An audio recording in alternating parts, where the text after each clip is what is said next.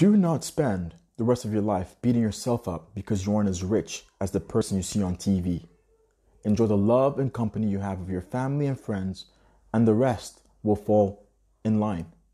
Good day, everyone. It's Mike Versal with another Monday Motivational Minute session. Today, I want to ask you a question and leave you with some advice. Is money more important than love, or does love win? I'm hoping at the end of this session, I can give you a frame of mind to help you when deciding which avenues to pursue in life, whether it's pure love or money in abundance. And most people will say that's an easy choice money saves everything. Money makes you successful. And it certainly makes you more comfortable and is the most crucial thing for survival. When love is overrated, is superficial, and literally won't buy you anything or help you survive. But would you agree you can become one of the richest persons in the world and face the risk of being lonely, surrounded by fake snakes and opportunist sharks out there who just want to be your friend for your riches?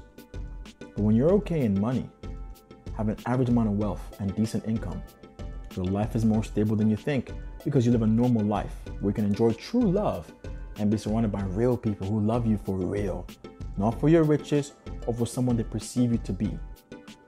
This is why it's important to find the middle ground. Enjoy the little bit of money you have, and remember that money is artificial. It's not real for a reason.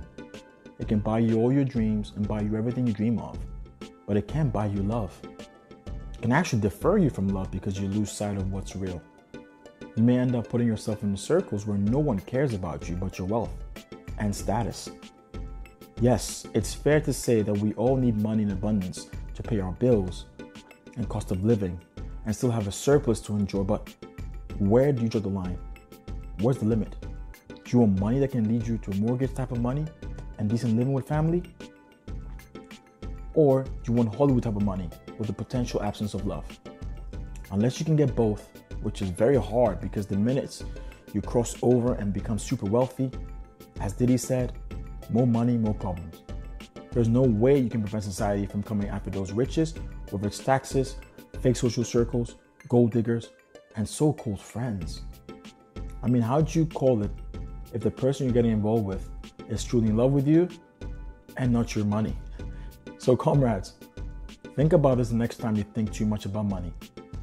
If you had to choose between love and comfortable living or riches and all your dreams can buy, which would you choose? You need to make that choice. Which would it be?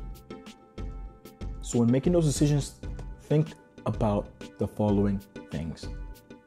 Number one, don't be upset about your life. You will soon realize it's not as bad as you think.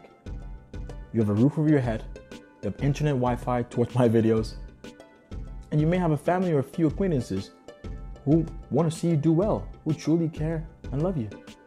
Number two, enjoy the life you have. You might have a small job you do every day, and that's fine. That's all you need. Yes, of course, it's easier said than done, but don't go chasing waterfalls, like TLC said, as you might regret it. Be happy with what you got, and the rest will follow. Why not listen to my positive podcast on Thursdays called The Unified Diaries? I give you my thoughts and advice on selected topics and things that are happening today in life and society. So, thanks for listening. Don't forget to subscribe if you enjoyed this, hit a like, and share with someone today who needs to think positive about life. Subscribe for new weekly content, and I'm hoping you can have a good week ahead. And hasta la vista. I'll see you later. Peace.